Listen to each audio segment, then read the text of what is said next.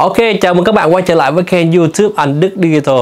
À, hôm nay Thanh sẽ làm một cái video để so sánh về hai dòng máy và nói là đang rất hot của Fujifilm đó là Fujifilm X-T3 và X-T4. À, ờ, trước khi chúng ta đi vào cái chi tiết bên trong về cấu hình và sự khác nhau về những về thông số thì Thanh sẽ nói sơ qua về hai dòng máy này và chúng ta sẽ cùng cảm nhận về cái sự khác nhau giữa hai dòng máy về hình thức bên ngoài nhé.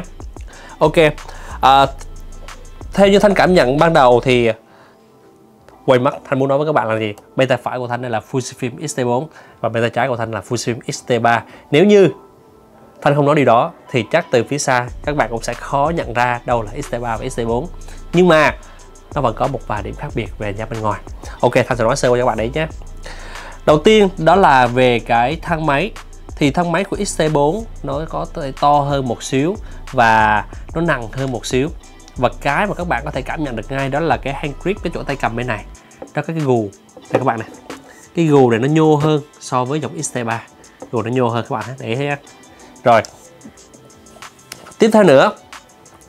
Và cái về ở phần mặt trên này các bạn sẽ thấy là cái phần này nó sẽ giác sâu hơn.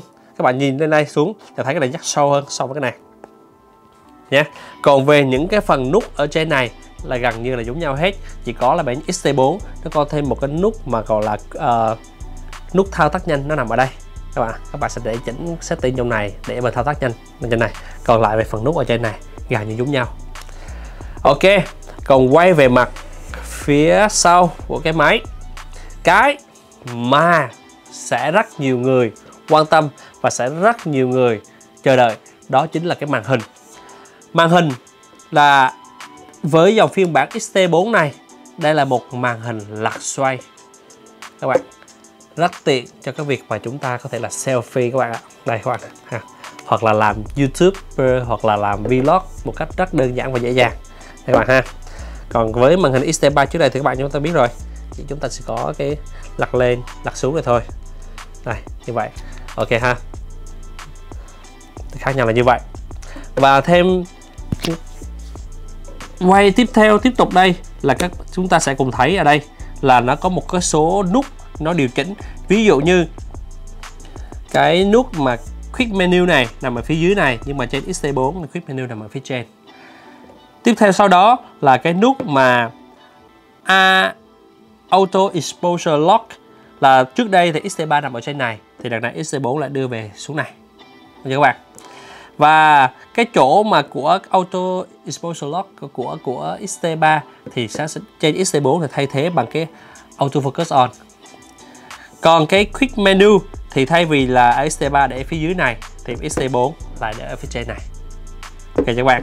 Rồi, về tổng thể qua thì gần như chúng ta sẽ khó để nhận ra nếu như chúng ta trước đây chưa từng sử dụng qua XT3 hoặc là chúng ta chỉ mới biết sơ sơ thì chúng ta sẽ khó nhận ra. Nhưng mà khi các bạn so sánh và đó là một số điểm để các bạn nhận biết được cái sự khác nhau về hai dòng máy. Vậy thì còn bên trong XT4 có nâng cấp gì đáng để chúng ta cần phải đầu tư và để mua cho cái này? Thứ nhất là cái điều mà như thanh hồi nãy vừa nói, đó là màn hình lật xoay. Cái này cực kỳ giá trị là nó sẽ xoay giúp cho chúng ta sẽ linh hoạt kiểm soát được trong cái khung hình. Và cái điều quan trọng nữa là cái màn hình này nó đẹp hơn rất nhiều. Nó có tới là 1 triệu 620 điểm ảnh, trong khi trên XT3 là chỉ có là 1 triệu 004 điểm ảnh thôi. Ngoài ra, về chức năng chụp hình thì trên XT3 thì các bạn có thể chụp được là 11 khung hình trên giây. Và với cái XT4 các bạn chụp lên đến 15 khung hình trên một giây. Đó là một cái sự nâng cấp rất đáng chờ đợi.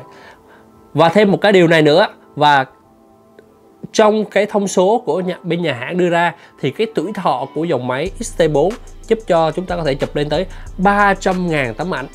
300.000 tấm ảnh các bạn ạ. Nó nhiều gấp đôi so với XT3 XT3 với tuổi thọ mà của bên thông số của nhà hãng đưa ra chỉ có là 150.000 shot các bạn thấy đây một sự nâng cấp phải đáng mua nha. Rồi chắc chắn còn thêm một cái phiên bản này nữa mà các bạn sẽ không bao giờ không để ý tới và các bạn chắc chắn cũng sẽ rất là quan tâm đó chính là viên pin. À, pin của trên phiên bản mà dòng XT3 là xài W126S nhưng trên của XT4 đó là xài viên pin là gì? W235 các bạn ạ. Với viên pin này gần như các bạn có thể cái cái dung lượng pin nó gần như là gấp đôi so với cái dòng phiên bản của XT3 đây là một cái nâng cấp phải nói là rất tuyệt vời và thanh rất thích cái cái cái cái cái cái, cái sự nâng cấp này. Rồi. Và ngoài ra cái, cái lý do mà cái body này nó to hơn một xíu thì nó cũng đều có lý do cả. Tại vì trên XT4 này nhà hãng đã bổ sung trong đó là một bộ chống rung 50 các bạn ạ. À. nó hỗ trợ rất tốt cho việc quay phim. Khi chúng ta khi quay phim thông thường mà nếu như không có bộ chống rung này thì các bạn rất sẽ dễ bị rung tay. Thì với cái XT4 này nó sẽ hạn chế cái khung hình bị rung lắc mặc dù chúng ta có thể rung rung tay nhẹ được. Đó là một trong những cái yếu tố mà phải nói là thật sự đáng mua cho với uh, việc mà chúng ta bỏ ra một cái sách để đầu tư để nâng cấp từ XT3 đến XT4 còn về trong cái khả năng mà chụp hình thì uh, tất cả đều có là độ phân giải là 26 megapixel là kiểu như nhau cả nhưng mà với quay phim. Ngoài cái việc mà hai dòng máy này hỗ trợ quay 4K 60 khung hình trên giây thì trên dòng máy XT4 này còn hỗ trợ thêm cái khả năng là quay 240 khung hình trên giây trên cái chế độ Full HD đó là một cái phải nói nâng cấp rất là tuyệt vời đặc biệt cho những ai thích quay slow motion thì đó là phải nói nâng cấp cực kỳ tuyệt vời các bạn ạ ok đó là những gì mà thanh muốn đề cập tới về cái sự khác nhau giữa hai dòng máy này. Và đó là cái những cái yếu tố để các bạn suy nghĩ xem. Để đưa ra quyết định chúng ta tiếp tục sử dụng máy XT3 hay là mua máy XT3 hay là chúng ta sẽ nâng cấp lên phiên bản XT4 hoặc là mua máy XT4 này. Ok, nếu các bạn muốn trải nghiệm và muốn so sánh thực tế hai sản phẩm này thì hãy đến với tất cả store của Anh Đức Digital tại Đà Nẵng và Hội An thì các bạn sẽ được có cơ hội trải nghiệm và để so sánh một cách thực tế nhất. Cảm ơn các bạn đã dành thời gian theo dõi video clip này. Nếu các bạn hữu quan tâm, hãy like và subscribe cho kênh youtube của chúng tôi. Xin chào và hẹn gặp lại.